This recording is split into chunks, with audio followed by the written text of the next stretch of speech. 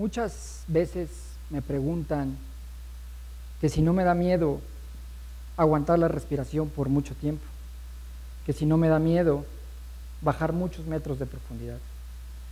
La respuesta es sí, por supuesto que sí.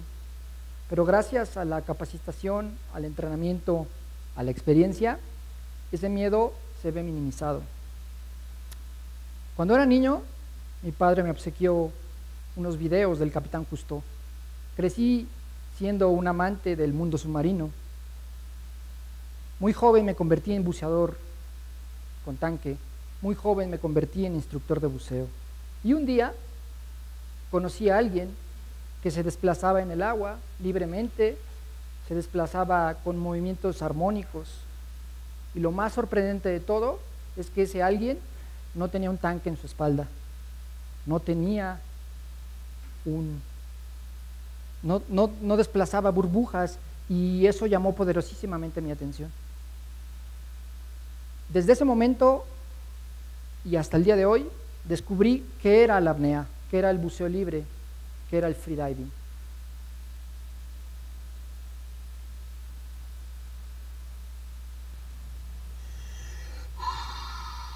Esto es lo que siento antes de sostener mi respiración.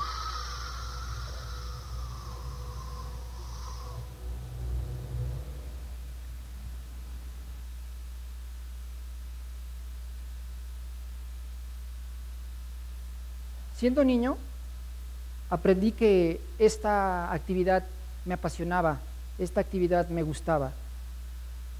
Pero para eso hay que hacer muchos sacrificios. Para eso hay que entrenar. La frase de Andrea Agassi, este tenista famoso, tiene mucho que ver con la apnea, por supuesto.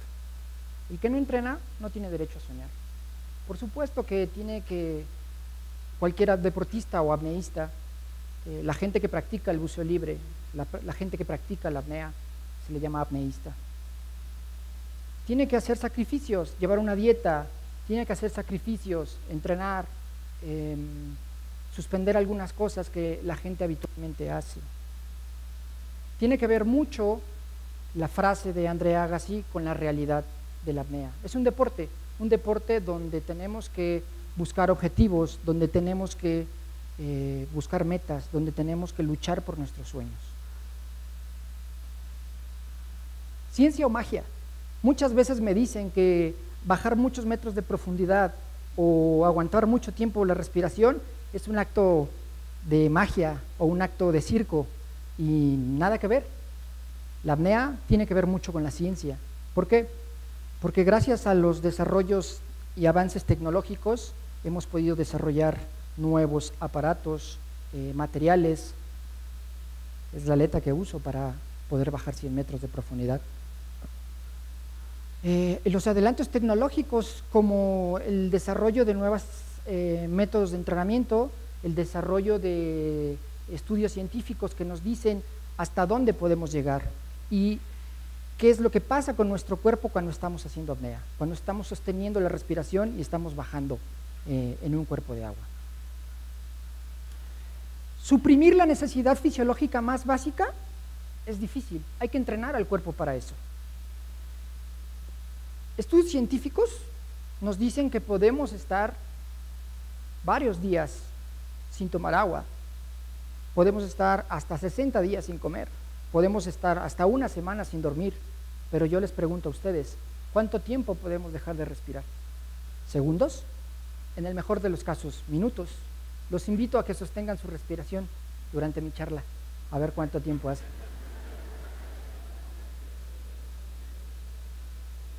El arte de, sostener la respiración tiene que ver mucho con la mente. ¿Por qué? Porque la necesidad fisiológica más básica es respirar. La apnea o el freediving es 75% mental y 25% físico. Hay que trabajar la mente.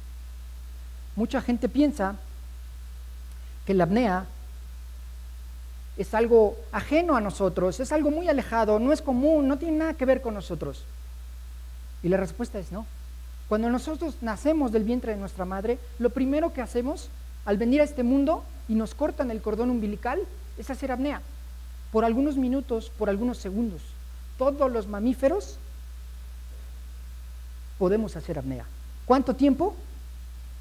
Hay grande diferencia cuando alguien está entrenado o cuando alguien no está entrenado.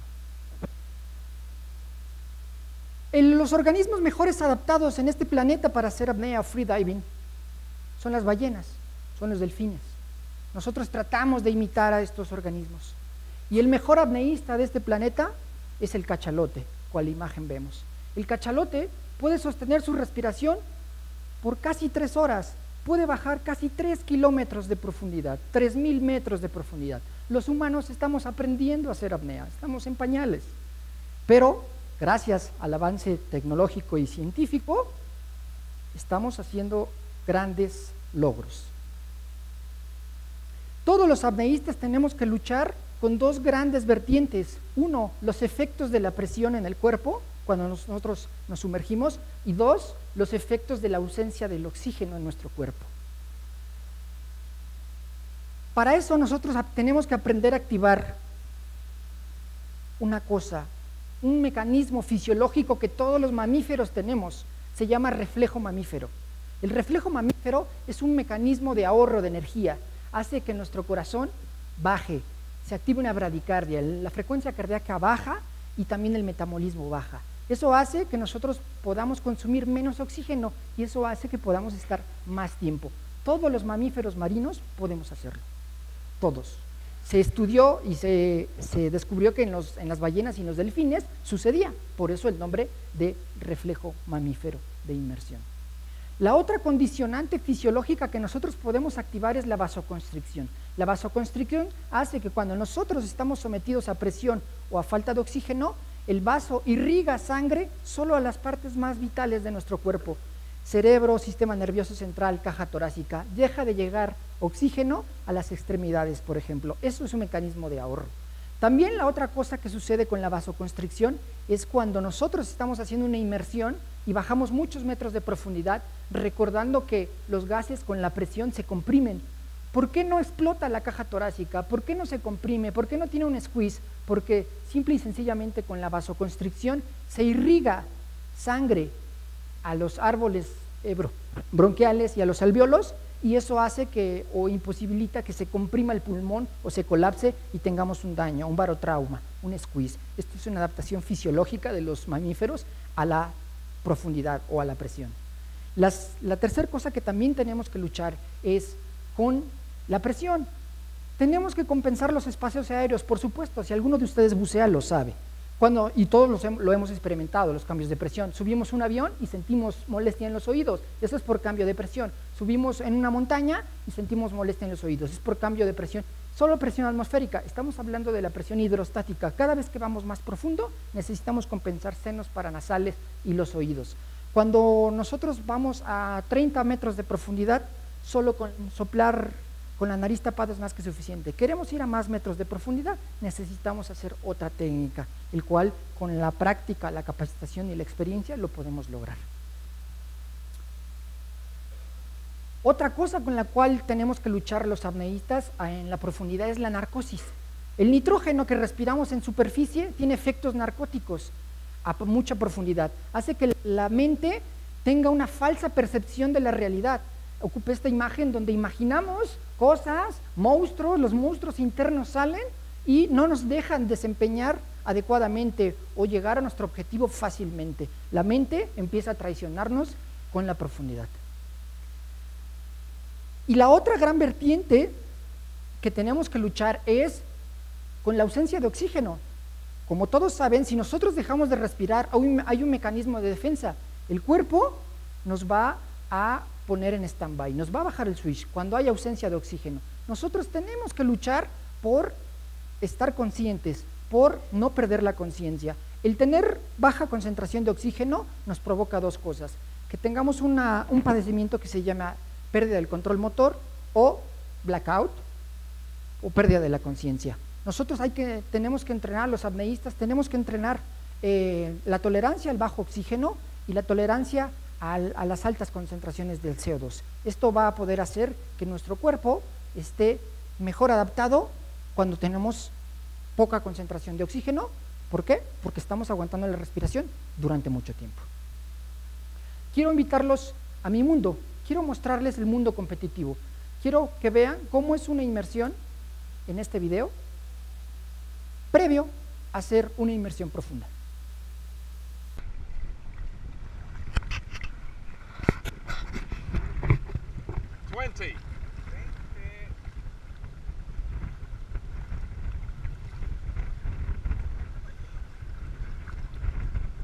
Ten. Yes. Five, four, three, two, one. Official top. Last one, two, three, four, five, six, seven, eight, nine, ten. Plus 15. Serve Alejandro Lemus of Mexico in a constant weight dive to Esto es lo 101 último que escucho antes de hacer una inmersión profunda. Esto fue una imagen de un campeonato mundial. Y esta es la cámara puesta a 101 metros de profundidad. El viaje mental, el viaje físico, las sensaciones, los miedos, eh, tus demonios internos, hay que luchar con ellos, pero también hay que luchar con los efectos de la presión y hay que luchar con los efectos de la ausencia del oxígeno. En mi mente está, sí puedo, trabajé muchos años para hacer esto, eh, he, he dedicado mi vida a hacer esto, he empeñado mi vida para poder hacer esto, pero bueno, también la otra parte de mi, de, mi cuerpo, de mi mente, dice, eh, lógralo, y otra parte de mi cuerpo dice, bueno, estás a 100 metros de profundidad, estás a 11 atmósferas de presión, regresa porque si no, aquí te quedas. Volvamos a la presentación, por favor.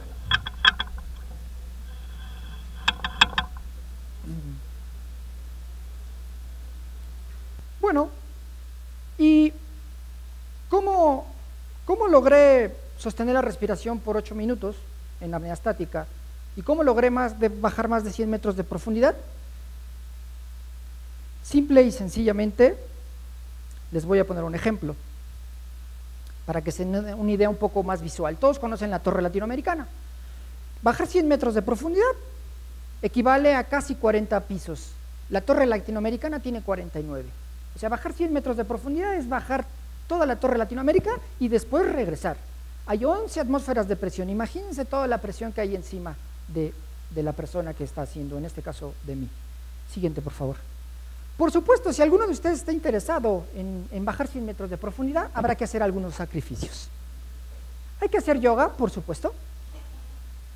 Hay que hacer entrenamientos de piscina específico, por supuesto. Hay que hacer pranayama, hay que hacer visualización, hay que hacer meditación, hay que trabajar con la mente. Hay que hacer entrenamientos de apnea estática, dominar la mente, aguantar la respiración el mayor tiempo posible. Dice la ciencia que si dejas de respirar por seis minutos o más de seis minutos tienes daño cerebral. Creo que a mí me funciona todavía un poco más. No, no es cierto. Tiene que ver, eh, cuando estás haciendo apnea, no pierdes la conciencia, tu cuerpo está funcionando, mínimamente, pero funciona. No todo son triunfos y victorias.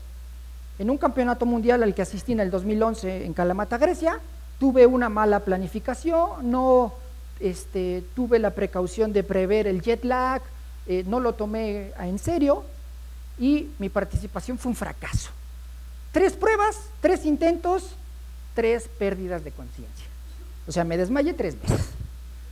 Fui al otro lado del mundo, entrené un año para poderlo hacer y desafortunadamente por no eh, hacer una buena planeación fue un fracaso. Y para mí fue un duro golpe, fue este, algo estresante, fue algo que marcó mi vida y me planteé una nueva técnica, una nueva manera de hacerlo. Yo pensé en, que en la actitud está el poder hacer eh, una, un mejor atleta, un mejor, una mejor persona.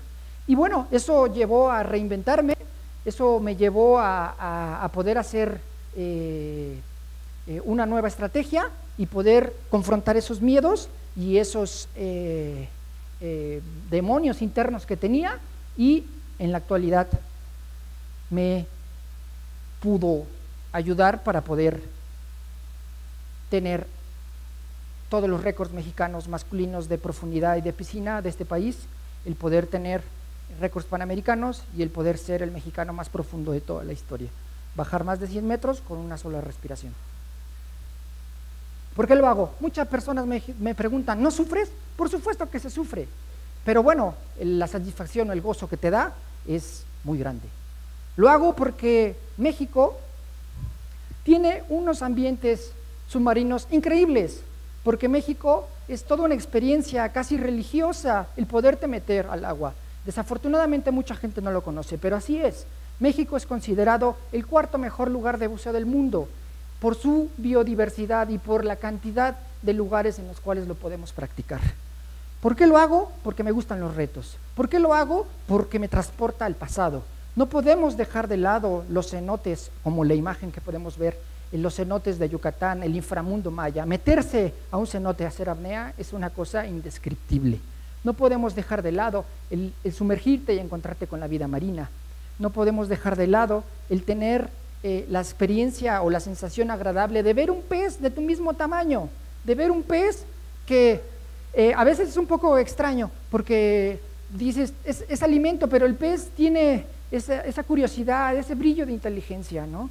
Em, eh, desmitificar al tiburón, el, malo de la película. No, no es así, se puede hacer. Eh, en México hay estos sitios. Eh, el tener la experiencia de, bucear o de estar con el depredador de los mares es increíble, ¿no? la conexión mágica que se tiene con grandes especies marinas no se las podría describir en este momento. ¿no? Voy a, a invitarlos a mi mundo, a mi mundo azul, a mi mundo azul profundo con este video.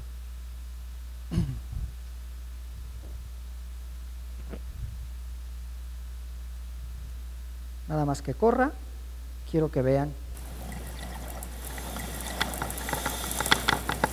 El sentir la sensación de libertad de estar contigo, el sentir que eres tú, el océano, el verdadero mundo del silencio, sin la ayuda de un tanque, sin la ayuda de aparatos, de mangueras, de burbujas, el poderte desplazar cómodamente, el tener la sensación de libertad, el escuchar el latido de tu corazón, escuchar las ballenas, escuchar los delfines, Muchas veces me dijeron que eso no se podía hacer y soy o estoy firmemente convencido que eso sí se puede hacer. Estoy firmemente convencido que si lo, te lo propones, lo puedes lograr. Hacer apnea, por el gusto de hacer apnea, es una de mis pasiones en la vida. Eh, me gustaría que todos en el mundo pudieran probarlo. Y México, México es uno de los mejores lugares del planeta para poderlo hacer. Somos afortunados, desafortunadamente pocas personas lo conocen. Pero bueno, es una de mis misiones en este mundo.